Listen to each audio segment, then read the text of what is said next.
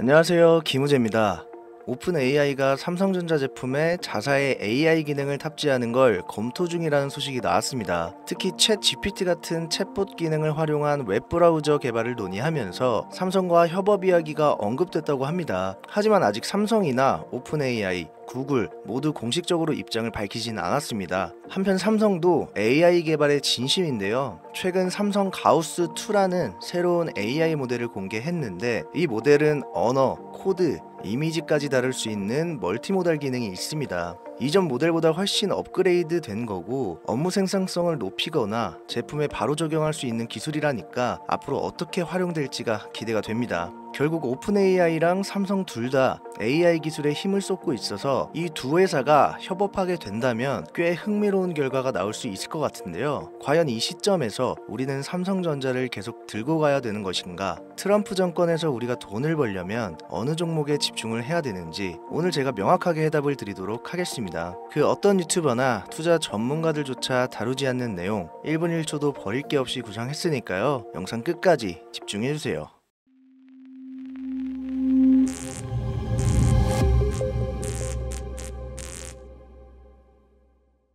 지금으로부터 약 8년 전 우리 돈으로 천 원도 되지 않았던 엔비디아를 사지 못한 것이 아쉬우시죠? 딱 천 주만 사놨어도 분명 조금이라도 여유를 가질 수 있을 텐데 말이죠. 4차 산업혁명과 반도체를 거쳐 미중무역 전쟁, 코로나 팬데믹과 언택트 그리고 인공지능 AI 시장까지 6개월도 안 되는 시간에 수십 배를 끌어올렸던 당장 2년 전의 수익조차 놓치신 분들 지금도 그때로 돌아간다면 샀을 텐데 후회되시는 분들이 있죠. 그동안 주식 투자를 하면서 절대절명의 모든 기회를 아쉽게 놓치신 분들께 전해드리는 중요한 영상이 되겠습니다. 얼마 남지 않은 올해 연말 연초 상상을 초월할 폭등을 보여줄 바로 그 테마 인공지능, 즉 AI 테마에 우리가 지금 100% 집중을 해야 되는 이유, 그리고 지금까지 그 어떤 투자 전문 채널에서도 상세하게 다룬 적이 없었던 해외 전문가들조차 올해에만 잡는다면 최소 10배 이상 상승할 것이라 예측한 숨겨진 히든 종목까지 지금 보고 계신 이 영상에서 명확한 근거 자료들과 함께 모든 시청자분들께 공유하도록 하겠습니다. 인공지능 정말 큰 부를 얻을 수 있는 마지막 테마주입니다. 채널 고정해 주시길 바라면서 바로 출발합니다. 중요 공지 하나 드리고 먼저 시작할게요. 절대 종목 추천을 빌미로 유료 leading이나 금전 요구 절대 하지 않으니까요. 걱정하지 마시고 시청 부탁드릴게요. 자, 인공지능 AI라고 표현합니다. 인간의 학습, 추론 능력, 지각 능력을 인공적으로 구현하려는 컴퓨터 과학의 세부 분야 중 하나가 되겠습니다. 정보공학 분야에 있어 하나의 인프라 기술이기도 하죠. 즉, 인간의 지능을 모방한 기능을 갖춘 컴퓨터 시스템이며 인간의 지능을 기계들이 인공적으로 시연한 것을 이야기한다. 짧게 정리할 수 있겠습니다. 자세한 지식까지는 모르더라도 인공지능 AI 하면 대부분 이게 어떤 것들인지 알고 계시는 분들은 많을 거예요. 그렇죠. 워낙 오래전부터 전 세계인들은 문화적인 컨텐츠로 간접적인 접촉을 하고 있었기 때문에 너무 생소하다거나 어렵게 느껴지는 부분은 없습니다. 자, 그럼 이제 이 인공지능 AI 분야가 앞으로 어떤 일들을 만들어낼 것이며 지금은 무슨 일들이 벌어지고 있길래 이 테마가 주식시장에 영향을 미친다는 것인지 그리고 어떤 주식을 잡으면 큰 돈을 벌 수 있는지까지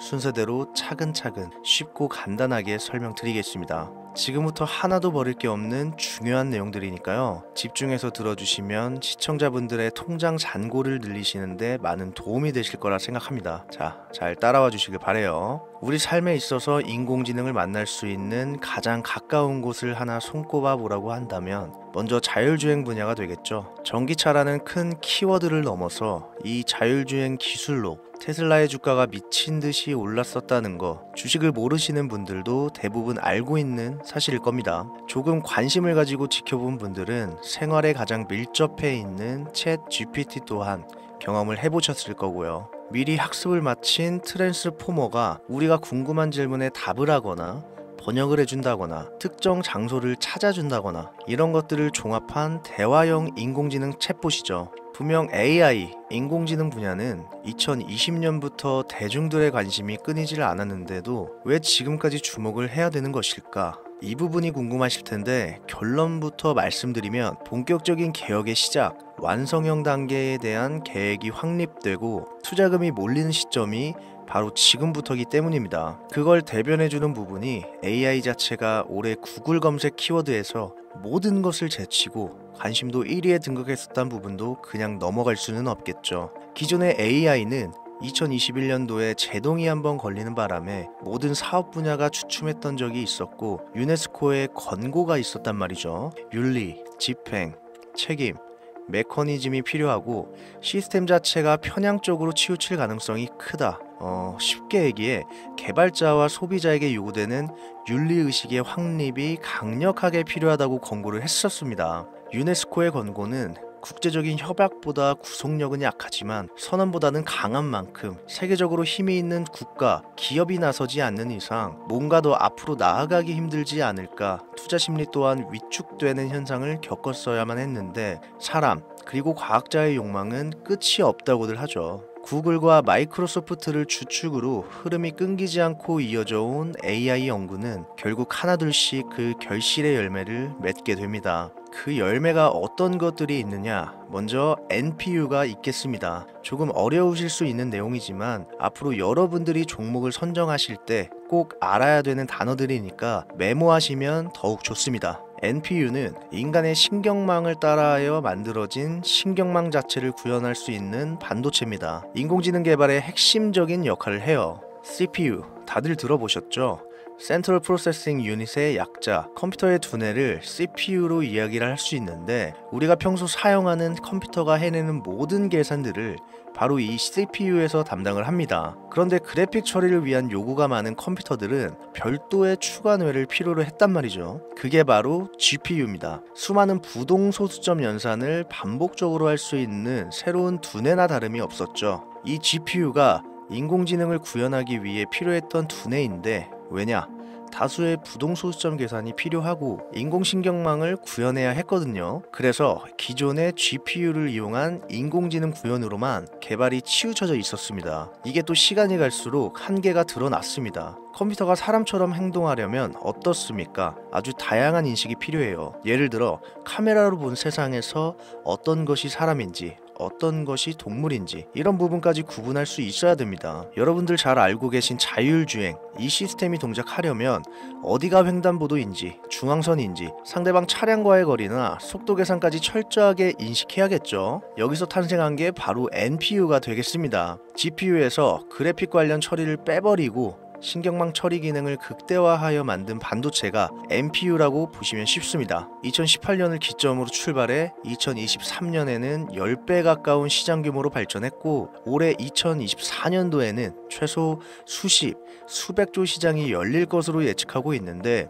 이 NPU로 인해서 우리는 올해 연말 연초 엄청난 발전을 마주하게 될 것으로 보입니다. 영화에서만 봐왔던 자유로운 의지와 행동이 가능한 로봇이 완성형 단계에 이르고 있다는 부분.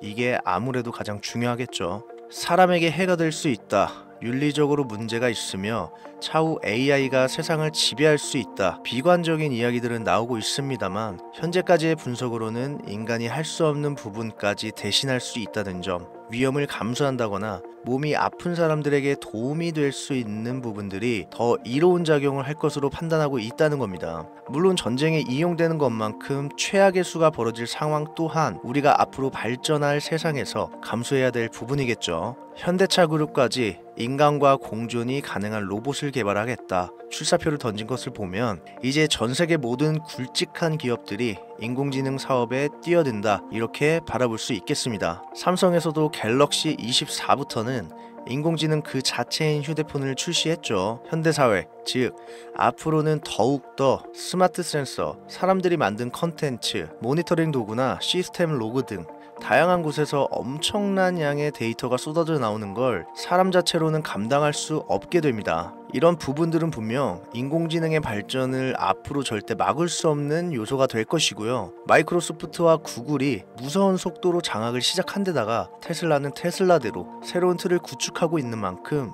전 세계의 모든 투자기관, 심지어 중동 오일머니까지 이 기술에 열광하고 시장이 요동치고 있다는 거, 이게 지금 시점의 결론이 되는 겁니다. 사람들이 필요로 하는 거, 없어서는 안 될 기술에 투자한다. 이거야말로 놓칠 수 없는 테마가 되는 것이죠. 예전부터 그런 이야기가 있지 않습니까? 인간에게 가장 필요한 건 의식주, 입고 먹고 자는 거. 그래서 부동산 혹은 음식 관련 프랜차이즈, 의류 쇼핑몰, 백화점 등 이 부분들이 끊이질 않고 계속 소비가 되는 이유겠죠. 인공지능이 이제 그 한 축을 담당하게 된다는 겁니다. 시대는 그렇게 변하고 있고 이미 시작되고 있습니다. 그 기점이 바로 24년 하반기가 되겠다. 얼마 안 남았죠. 그래서 우리는 그 테마를 지금이라도 절대 놓쳐서는 안 되겠다. 저는 이 얘기를 하고 싶은 겁니다. 인공지능에 대해 더 깊게 들어간다면 크게 머신러닝이나 딥러닝이라는 기술을 바탕으로 동작하는 AI에 대해서 조금 더 자세한 설명이 필요할 수도 있습니다만 이 부분은 제가 다음에 AI 자체에 관심 있는 분들을 위해서 심화된 영상을 따로 올려드리는 걸로 하고요.